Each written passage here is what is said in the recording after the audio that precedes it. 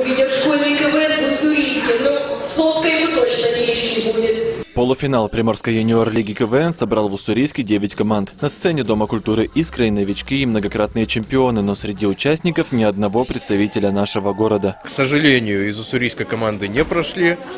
Они у нас э, э, не прошли этап межрайонного фестиваля, но будем надеяться, что школьный КВН в Уссурийске все-таки возродится. Он каждый год пытается, пытается, как феникс из пепла возродиться, но, к сожалению, пока вот в этом смысле Уссурийск буксует.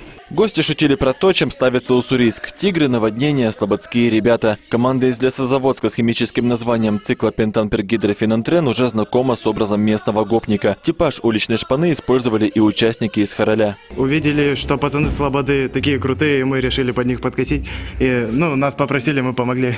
Откуда узнал, что они крутые? Ну, по рассказам. Пацаны знакомые тут учатся и сами рассказывали. Придумал я сам, у меня просто вот был костюм, и я все думал, блин, надо вот с этим образом как-то раскручивать. Но у нас, нам даже подметили то, что у меня образ сам есть, а мы его не докрутили до конца. А когда я вот одел, прям этот костюм, я прошу, это я, да. Прям влился в него сразу. Ну чё, посмотрел я тут все, не сильно вас затопило. Двухэтажка. Вообще-то это пятиэтажка. Нет, ну а что ты сделаешь? Вы же жалуетесь.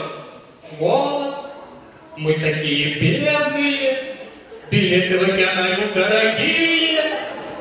Ходите, смотрите, у вас такие караси. По итогам игры жюри присудило звание лучшего актера дальнереченцу, а лучшей актрисой стала уроженка села Барана Оренбургского. Ну а команда «Налетай девочки» поборется в финале, победитель которого отправится в город Анапу представлять регион.